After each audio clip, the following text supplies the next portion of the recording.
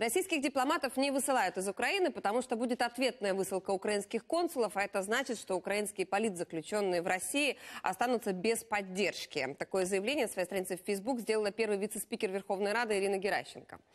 А, напомню, по данным британских СМИ, 20 европейских стран и США собираются выслать российских дипломатов из-за их шпионской деятельности. Это ответ на нападение в Солсбери.